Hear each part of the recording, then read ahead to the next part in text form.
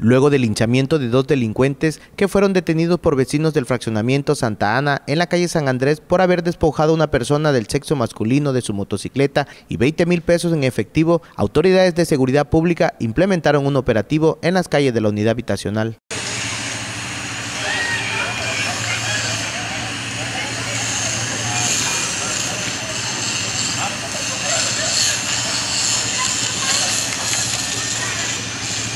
Dos patrullas de la Policía Estatal Preventiva y dos elementos a bordo de cuatrimotos recorrieron las calles del fraccionamiento Villas de San José y Santa Ana con el principal propósito de reforzar la seguridad y contrarrestar los índices delictivos que se registran en la zona oriente de la isla ante la exigencia ciudadana. Con imágenes de Pedro Méndez, Valentín Mendoza, Telemar Carmen.